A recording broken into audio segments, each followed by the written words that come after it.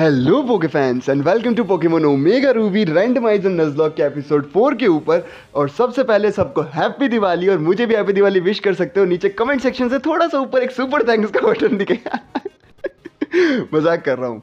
क्या ये मज़ाक था? जा रहे बाबू चक आते ही भीख मांगने लग गया। जा रहे हैं केव में से पीको ला रहे हैं। इनको कौन समझाया मैं दिवाली विश कर रहा था।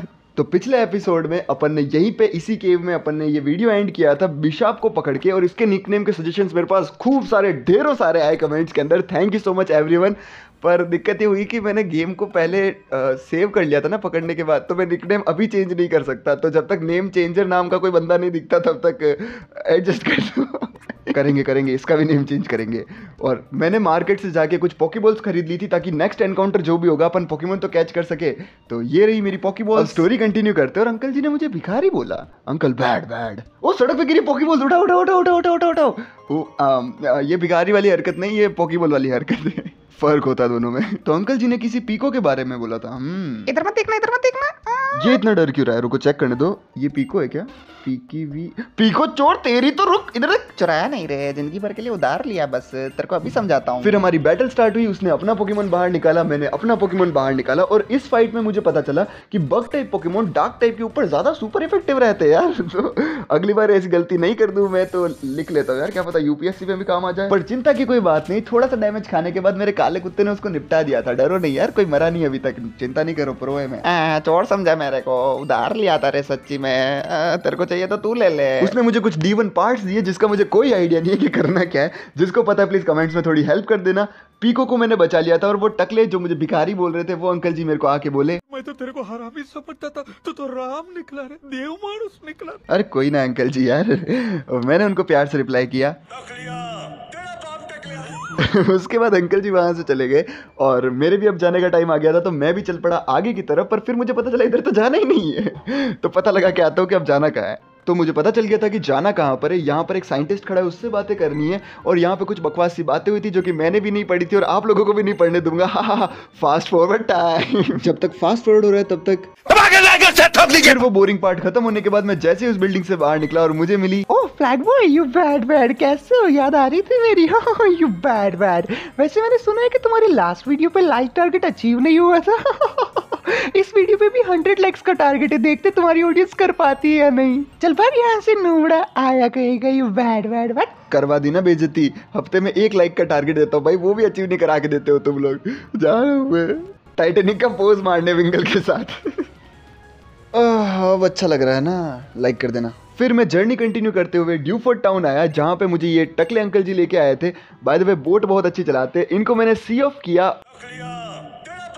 और जर्नी कंटिन्यू करी। इस टाउन में घूमते मैंने नोटिस किया कि यहाँ पर भी एक पोकेमोन जिम है। पहले मेरा प्लान था कि इस जिम को नेक्स्ट एपिसोड में कवर करेंगे, अभी कुछ नहीं करेंगे। पर फिर मेरा मन किया कि नीचे के जो लल्लू पल्लू ट्रेनर्स होते हैं, उनको तो हरा देते यार, थोड़े पैसे भी मिलेंगे और लेवल्स का भी आइडिया हो जाएगा कि जिम में किस लेवल के पोकेमोन आएँगे। अंकल जी ने बताया कि फाइटिंग टाइप जिम है और रैंडमाइजर में सबको आइडिया हो चुका होगा कि जिम फाइटिंग टाइप होगा या नहीं। मैंने अपनी टीम देख ली, लाल केकड़ा को सबसे आगे रख रखा था और आगे बढ़ गया फ़र्स्ट ट्रेनर से फाइट करने के लिए। फाइट स्टार्ट हुई, उसके पास एक पोकेमोन था जो कि उसने बाहर निकाला। मैंने भी अपना लाल केकड़ा बाहर निकाला और लाल केकड़े ने उसको धो दिया।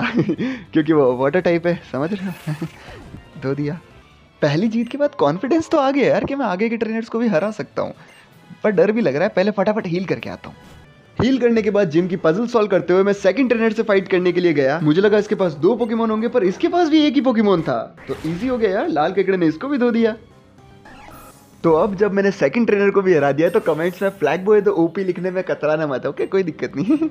फ़र्स्ट और सेकंड ट्रेनर को हराने के बाद मैं कॉन्फिडेंस से इतना भर गया था कि मैं थर्ड ट्रेनर से बिना हिल किए चला गया। इस थर्ड ट्रेनर के पास में दो पोकेमोन थे, और पहला पोकेमोन जैसे इसने बाहर निकाला, मैंने भी अपने ट्रस्ट वर्दी लाल केकड़े को बाहर निकाला। और आप लोग मानोगे नहीं, इस लाल केकड़े ने उस पोकेमोन को वन शॉट कर दिया। नहीं भरोसा तो देख लो।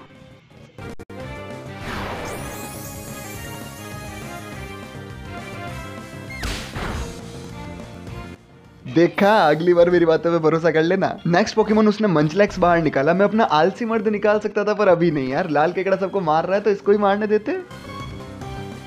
और भाई, फिर से वन शॉट तीनों ट्रेनर्स को हरा देने के बाद मैं आगे की जिम की पजल सॉल्व करने लग गया क्योंकि जिम की पजल इंटरेस्टिंग यार अंधेरे में चलना पड़ रहा है देख रहे हो कि नहीं? मेरा मन था जिम लीडर को देख लेता हूँ फिर हील करा के आराम से जिम लीडर से लड़ने जाऊँगा। जैसे ही मैं जिम लीडर को देखने गया और यहाँ मेरी फट गई मैं रिटर्न आ गया। ऐसे कौन खड़ा रहता है यार भाई जिम में? फ्लैग तो कर सकता है फ्लैग तो कर सकता है। ये इसी तरीके से मैंने अपने आपको हौसला दिया मैं देखने गया फिर से और भाई देख के डरावना नहीं लग रहा है यार वो कितना सा देख रहा है वो? फिर मैंने वो किया जो मुझे नहीं करना चाहिए था। बिना हील किए जिम लीडर को चैलेंज कर दिया। अब बाट लगेगी। ऐसे बैटल स्टार्ट हो गई, उसने मेरे सामने कुछ बढ़िया वाले पोजेस मारे और मैं अपनी किस्मत को लेके बस रो रहा हूँ। क्योंकि उसके पास छह पोकेमोन की टीम होगी और मैंने अपने पोकेमोन को हील तक नहीं करा है। उसका फ़र्स्ट पोकेमोन था गेंगार और ये भाई प्रॉपर कोस्ट यार इनविजिबल हो क्या? सिट्रा का ग्लिच है यार गेम का फीचर नहीं है मैंने मैंने लाल केकड़ा निकाला, इस उम्मीद में कि शायद डार्क टाइप अटैक से वन शॉट हो जाएगा।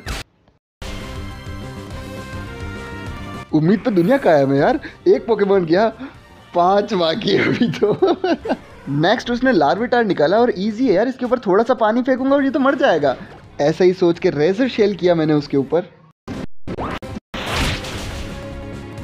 और लाल केकड़ा छा रहा है यार। दो पोकेमोन को वन शॉट मार चुका है। लाल केकड़ा ओपी है। हाँ हाँ बस ऐसे ही लड़ता रहे। जिम के बाद साफ़ पानी पिलाऊँगा तुझे क्योंकि तू वाटर टाइप है ना। दो पोकेमोन गए चार बाकी। अब लाल केकड़ा को मैं बचाना चाहता था इसलिए फिर मैंने नेक्स्ट अपना काला कुत्ता को सेलेक्ट किया क्योंकि बिशाप को अभी यूज़ नहीं कर सकता यार। वो कुछ ज़्यादा ही अंडर लेवल है जिम के लिए। नेक्स्ट उसका व्हाइट कलर का शाइनी पेल्पिटोड बाहर आ चुका था।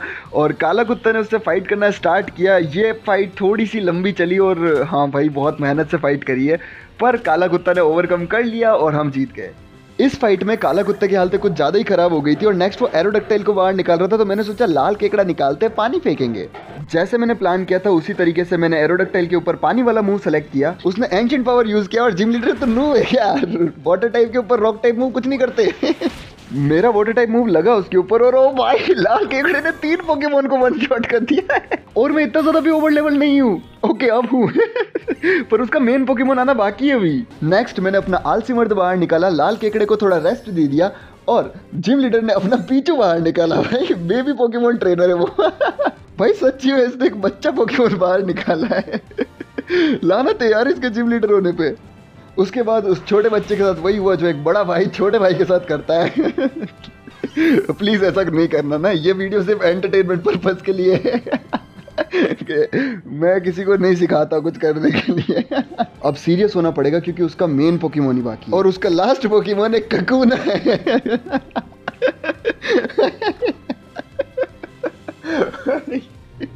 और, और इसको हार्टन आता है मैं को मारता ही थी कहीं कहीं